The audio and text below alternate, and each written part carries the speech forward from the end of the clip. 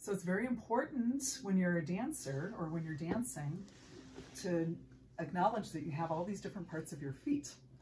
And I think it's super interesting that, that feet and hands have very similar bone and nerve and muscle structure. So in theory, we want to be able to do the same things with our feet that we could with our hands or that we can with our hands. And as part of dance training, we do a lot of work with feet. And I think it's nice to just start off with something nice and easy. So just wiggling your toes a little bit, just to get in touch with your different foot parts. Wiggling your toes. And then maybe wiggling your ankles. And what we work on a lot in dance training is, can you separate those two things and know when you're moving your ankles and when you're moving your toes? So a nice easy thing to start off with is just to point your toes down and then to flex everything up.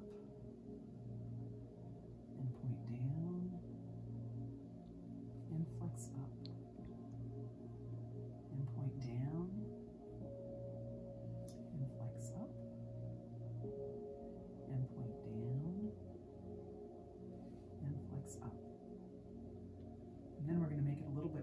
Bit fancier. We're going to have you point down and then just flex your toes. So you see how I'm keeping my ankles long and just lifting my toes.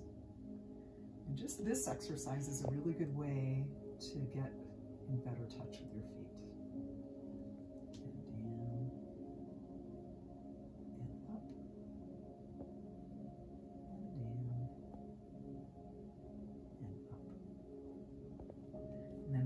Then just relax. And then kind of let's put it together a little bit. So we're going to go flex everything. Point just your ankles down and then add your toes. And then reverse that. So you're going to go toes flex and ankles flex. And then ankles point down and toes point down. And toes flex up and ankles flex up. Ankles down, toes down, toes up, and ankles up. And then just shake it. And then another thing that's kind of nice to do to just feel that, so that's kind of in in a using your feet in two separate blocks. It's nice to kind of feel how that can be very smooth and how you can use your foot smoothly. And one of my favorite things to do is just to slide my foot out and keep your foot on the ground as long as you can and then slide it up.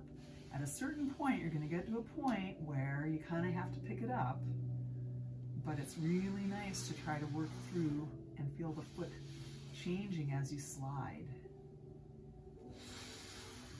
And I like to do both legs. So you're to slide down, and if you wanted to flex, you could. And then point down, find, find your foot, and pull up and slide down flex up. And then I'm not even pointing my foot really. I'm just going through the flex. So I'm going to slide down, keeping my toe on the, toes on the ground as long as I can. And then when I finally get my leg down long, then I'm going to finish by flexing everything up. And then I'm going to draw back, draw my heel back, get my toes down on the ground as quick as I can. And then same thing on the other side. I'm going to slide down, keeping my toes on the ground. And you'll feel different things in your lower legs working as you do that. And then you're going to flex your foot up and then draw back in. And then once you're done with that, you want to do a little bit of toe piano. So start with your little toes, fourth toe, third toe, second toe, big toe, and then do the opposite. So little toe,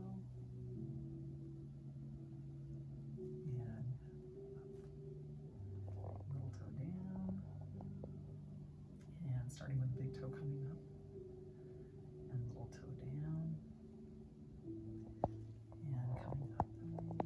I've tried it the other way. It's really hard the other way. I can't even do it, but I think it's worth trying. And little toe up and then big toe down, second toe, third toe, fourth toe, and then little toe. That's really hard and down. But I know if I worked on it, my body would learn how to do it, but good.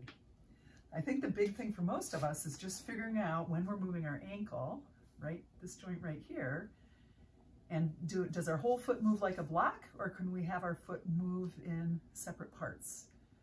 Because having some of that flexibility is just really beautiful and it really helps connect us from our feet up through our legs into our hips and our pelvis and the rest of our bodies.